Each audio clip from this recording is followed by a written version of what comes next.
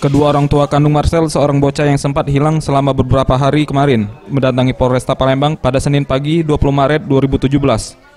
Setelah menunggu dua jam, akhirnya Marcel didampingi Pusat Pelayanan Terpadu Pemberdayaan Perempuan dan Anak Kota Palembang serta Lembaga Perlindungan Anak Indonesia atau LPAI tiba di Polresta Palembang.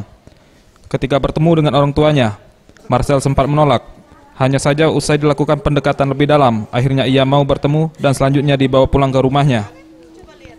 Siti, orang tua Marcel mengatakan, anaknya tersebut meninggalkan rumah pada Jumat lalu ketika disuruh belanja di warung. Warga Kelurahan Kota Batu, Kecamatan Ilir Timur 1 ini mengetahui keberadaan anaknya usai menonton berita di TV. Mana bu perasaannya bu? Anak nggak ketemu bu? Oh, seneng hati nian.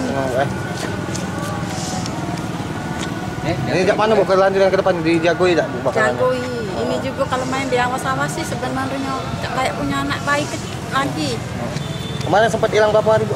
Tiga hari, empat hari tempat hari ini.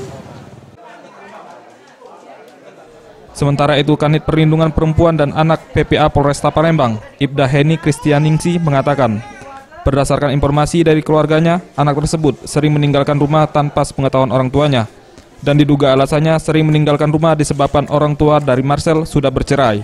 memang sering hilang. Hmm, cuman untuk kita menyatakan kejiwaan atau tidak kita belum berani menyatakan hal itu.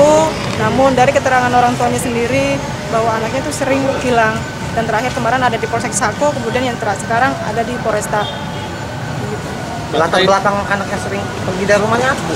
Latar belakang sendiri eh, kalau pergi dari rumah kita tidak tahu antara hubungan orang tuanya memang yang kita ketahui bapak ibunya sudah cerai, sudah ti- tidak tinggal satu rumah dan si Marcel sendiri diasuh sama bibinya.